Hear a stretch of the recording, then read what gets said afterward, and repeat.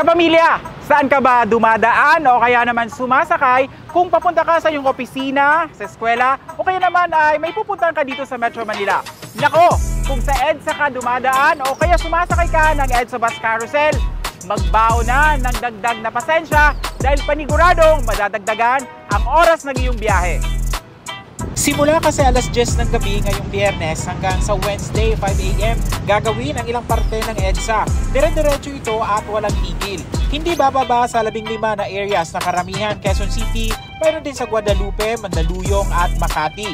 Para daw ito sa paghanda ng bansa sa hosting ng FIBA Basketball Games ngayong August hanggang September.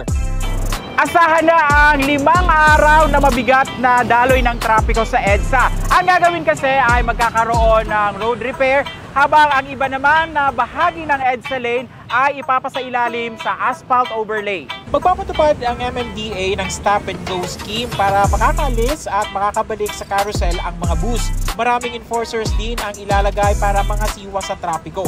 Payo naman ng MMDA subukan ang labing isang ruta ng mabuhay lanes, gamitin ang Skyway at sa commuters, lipat muna sa MRT 3 para mas mabilis ang biyahe.